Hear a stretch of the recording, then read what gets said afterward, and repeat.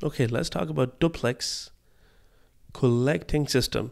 We have the bifurcation of ureteric bud before it enters the metanephric blastema. So look, we have now two ureteric buds. Ureteric bud, ureteric bud, because we have bifurcated the ureteric bud before it enters the blastema, creates a Y-shaped bifid uterus. My bad, not uterus, but ureter, right? Because ureteric bud was forming the ureters.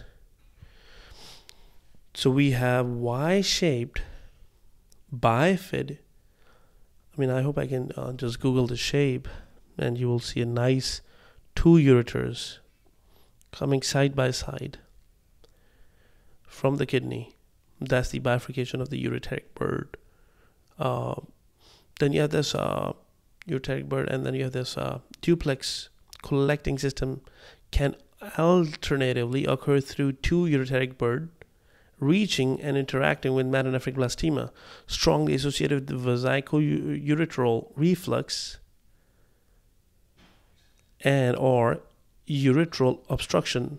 So if you have a reflux of that uh, vesico uh, ureteral reflux, that's one thing, or you have this obstruction of that ureter, um, or you have increased uh, risk of UTIs, uh,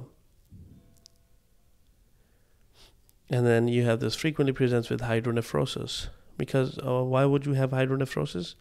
Because you have two systems that are coming down, but again, they are associated with either obstruction or either the reflux back into the kidney or into the ureter going back to the kidney, or there is a UTI recurrent UTIs are occurring.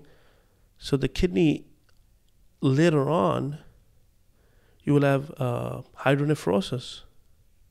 First of all, you might develop a hydroureter because of all that pressure going up, hydroureter, and then you know eventually forming hydro uh, hydronephrosis.